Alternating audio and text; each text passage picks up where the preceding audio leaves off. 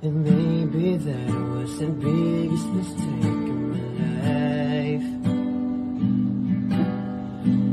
Maybe I've been moved on since that night.